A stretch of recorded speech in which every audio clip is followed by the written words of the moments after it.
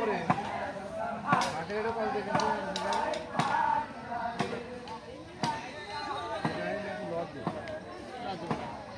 दूसरी बार देखा था वास्तव में